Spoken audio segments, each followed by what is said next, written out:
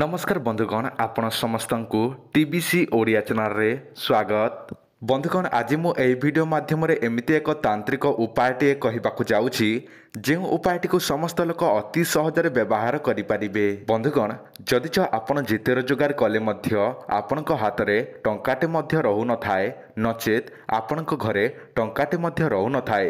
ତା ସହିତ ଆପଣଙ୍କର ଅନେକ ଶତ୍ରୁ ଅଛନ୍ତି ଏବଂ ଆପଣଙ୍କର ଶତ୍ରୁ ଆପଣଙ୍କର କୌଣସି କାମଟିକୁ ସଫଳ ହେବାକୁ ଦେଉନାହାନ୍ତି ତା ସହିତ ଆପଣଙ୍କର କ୍ଷୟକ୍ଷତି ମଧ୍ୟ କରୁଛନ୍ତି।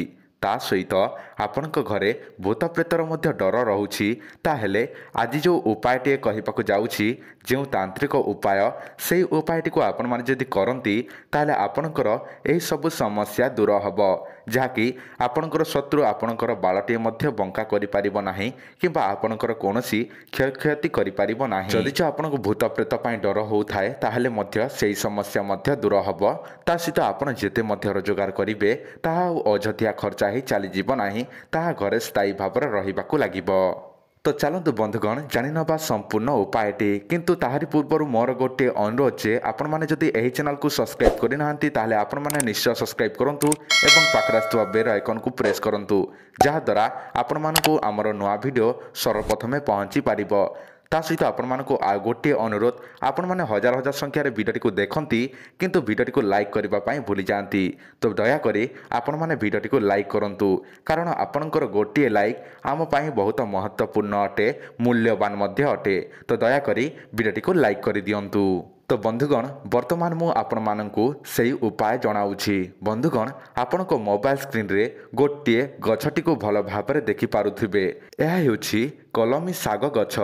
ଯଦିଚ ଆପଣଙ୍କ ଗାଁରେ କିମ୍ବା କୌଣସି ପୋଖରୀଠାରେ ଏହି କଲମୀ ଗଛଟିକୁ ବା ଏହି କଲମୀ ଶାଗ ଗଛଟିକୁ ଦେଖନ୍ତି ତାହେଲେ ଆପଣମାନେ ମନେ ରଖିବେ ଯେ ଯଦିଚ କୌଣସି ପୁଷ୍ୟା ନକ୍ଷତ୍ର ଦିନ ଏହି ଗଛର ମୂଳଟିକୁ ଆପଣ ଆଣିକି ନିଜ ଘରର ପଇସା ପତ୍ର ଯେଉଁଠି ରଖନ୍ତି ସେହି ସ୍ଥାନରେ ଯଦି ରଖିବେ ତାହେଲେ ଆପଣଙ୍କ ଘରେ କୌଣସି ଭୂତ ପ୍ରେତ ମଧ୍ୟ ପ୍ରବେଶ କରିପାରିବ ନାହିଁ। ଯଦିଚ ଆପଣଙ୍କର ଶତ୍ରୁ ଆପଣଙ୍କର କ୍ଷୟକ୍ଷତି କରୁଥାନ୍ତି ତାହା ମଧ୍ୟ ଦୂର ହୋଇଯିବ। ତା ସହିତ ଆପଣଙ୍କ ଘରେ ଧନଜନ ଗୋପଲକ୍ଷ୍ମୀ ବୃଦ୍ଧି ହେବାକୁ ଲାଗିବ। କିନ୍ତୁ ବନ୍ଧୁଗଣ ଆପଣମାନଙ୍କୁ ଗୋଟିଏ କଥାଟିକୁ ଧ୍ୟାନ ଦେବାକୁ ପଡ଼ିବ। ଯେଉଁଦିନ ପୁଷ୍ୟା ନକ୍ଷତ୍ର ହୋଇଥିବ ତାହାରି ପୂର୍ବ ଦିନ ଆପଣ ସନ୍ଧ୍ୟାରେ ଯାହାକି ମନେକର ରବିବାର ହେଉଛି ପୁଷ୍ୟା ନକ୍ଷତ୍ର ପଡ଼ିଛି ତାହେଲେ ଶନିବାର ଦିନ ସନ୍ଧ୍ୟା ସମୟରେ ଏହି କଲମୀ ଶାଗ ଗଛଟିକୁ ନିମନ୍ତ୍ରଣ କରିବାକୁ ପଡ଼ିବ ଯଦିଚ ଆପଣ ନିମନ୍ତ୍ରଣ ବିଧିବିଧାନ ଜାଣିନାହାନ୍ତି ତାହେଲେ ଆମେ ଅନେକ ଭିଡ଼ିଓ ମାଧ୍ୟମରେ ଜଣାଇ ଦେଇଛୁ ଯାହାକି ଆମର ପୂର୍ବ ଅପଲୋଡ଼ ଭିଡ଼ିଓ ଯଦିଚ ଆମର ପୂର୍ବ ଅପଲୋଡ଼ ଭିଡ଼ିଓଟିକୁ ଦେଖିବେ ତାହେଲେ ଆପଣ ନିମନ୍ତ୍ରଣ ବିଧିବିଧାନ ଜାଣି ପକାଇବେ। ତ ନିମନ୍ତ୍ରଣ କରିକି ଏକା ଆପଣ ଏହି କଲମୀ ଶାଗ ଗଛର ମୂଳଟିକୁ ପୁଷ୍ୟା ନକ୍ଷତ୍ର ଆଣିବେ ଏବଂ ସେହି ମୂଳଟିକୁ ଗଙ୍ଗା ପାଣି ତା ସହିତ କିଛି କୁଙ୍କୁମ ଗୋରଚନା ମିଶାଇ ଧୋଇ ପକାଇବେ। ତାହାପରେ ବନ୍ଧୁଗଣ ସେଇ ମୂଳଟିକୁ ଆପଣ ଯେଉଁଠି ପଇସା ପତ୍ର ରଖନ୍ତି କେସିୟର ହେଉ କିମ୍ବା କୌଣସି ଆପଣଙ୍କର ଯେଉଁଠି ଗଡ଼ରେଜ୍ ହେଉ ଯେଉଁ କୌଣସି ଜାଗାରେ ଆପଣ ପଇସା ରଖନ୍ତି ସେହି ସ୍ଥାନରେ ସେଇଟାକୁ ରଖିବେ।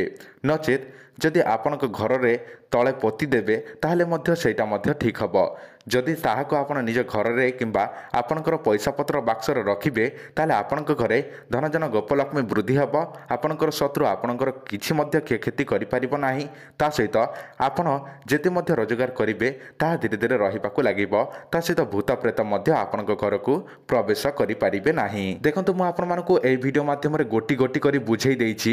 ଯଦି ଆପଣ ବୁଝିପାରିଲେ ନାହିଁ ତାହେଲେ ଭିଡ଼ିଓଟିକୁ ଆଉ ଥରେ ଦେଖନ୍ତୁ ଯାହାଦ୍ୱାରା ଆପଣ ସମ୍ପୂର୍ଣ୍ଣ ବିଧିବିଧାନଟି ବୁଝିପାରିବେ। ଯଦି ଆପଣ ବିଧିବିଧାନ ଅନୁସାରେ କରନ୍ତି ତାହେଲେ ଏହି ଉପାୟଟି ଶହେ ପରସେଣ୍ଟ କାମ କରିବ ହିଁ କରିବ।